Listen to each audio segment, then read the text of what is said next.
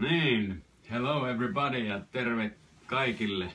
Ja tänään me tehdään tällainen jännä juttu. Tuli sellainen maaninen vaihe, että piti yhtäkkiä saada mehustin tai tämmöinen mehulinko hommattua ja sitten yhden vuorokauden pystyy pidättelemään ja sitten lähdin hakemaan tuolta Expertiltä 69 euroa Philips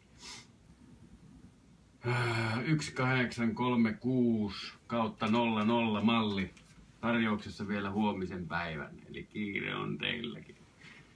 Joo, en lukenut käyttöohjeita, niitäkin tuli mukana. Ää, lähdetään katsomaan, pystynkö mä käyttämään tätä. Ideana on siis tehdä mehua itse hedelmistä. Ja kävin tuossa ostamassa ananasta ja inkivääriä ja kreippiä ja appelsiinia ja kaikkea. Ja nyt sitten jännityksellä katsomme saammeko tämän toimimaan. Jämäkältä tuntuu. Tänne pilkoin valmiiksi näitä, näitä hedelmiä. Ja, ja kun tuo reikä on tuossa pinnassa aika pieni, niin kannattaa pilkkoa vähän pienimmiksi.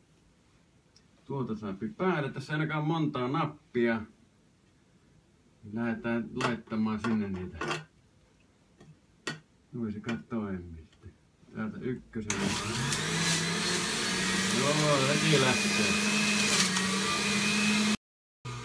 No niin, nyt sinä on valmista mehua. Yllättävän äänetön ja yllättävän simppeli. Ei tosiaan käyttöohjeitakaan tarvinnut pöljän lukea. Nyt täällä on sitten kupissa tämmöstä lientä lasi.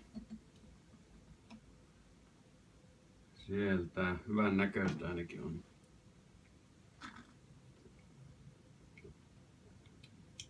On kyllä järjettömän hyvä. Järjettömän hyvä.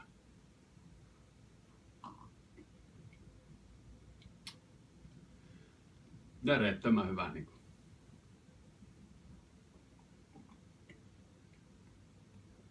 Joo. Järjettömän hyvä niin kuin. Joo.